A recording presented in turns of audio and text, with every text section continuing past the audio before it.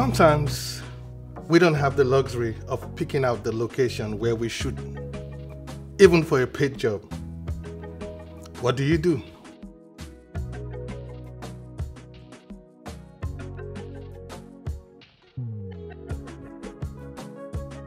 Hi, my name is Alec Godwin.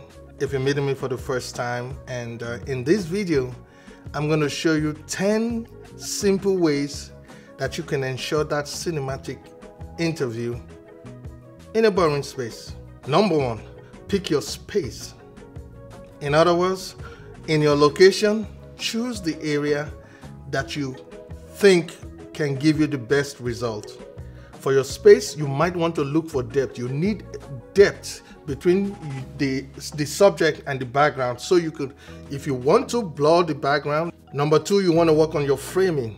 Interviews that I like to shoot, I would rather be here, right here in the intersection, somewhere around here, like this, and have my eye level above this point and I'll frame it better so that something like this but you don't want that headroom you want to close up the headroom a little bit more okay?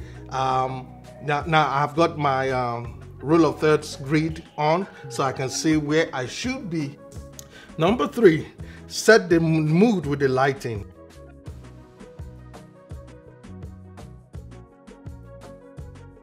number four pick your camera angles um, in this example, I shot with two cameras and I advise to always do that. Um, you want to do two different focal lengths and two different angles for it to be seamless. Number five, prep your interviewee.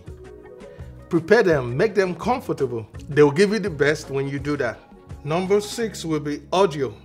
Audio is key. I always do two or more options for audio. Now, number seven, get as much b-roll as you can it will save the day number eight is avoid jump cuts so they go hand in hand because you actually avoid jump cuts with b-rolls number nine add some music music can help you tell better stories especially for documentaries like this piece that we have. Get a glimpse at the interview we shot. Hi, my name is Liliana Lepe. I work for Olive Support Services and I am the program manager here and I oversee outreach. So I plan events, I try to network with as many community members, um, organizations in the Antelope Valley to provide resources to our participants. Hi, my name is Siboney Vargas Gonzalez.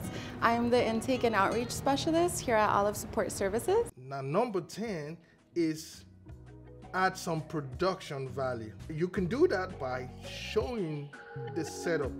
I love a slider. I did not use for this situation, but when you do it right, you kind of have a glimpse of the lights, the camera, the lenses, the you know, the setup, you know, and a lot of people can learn too from that. All right, that's it. I hope this helped you out.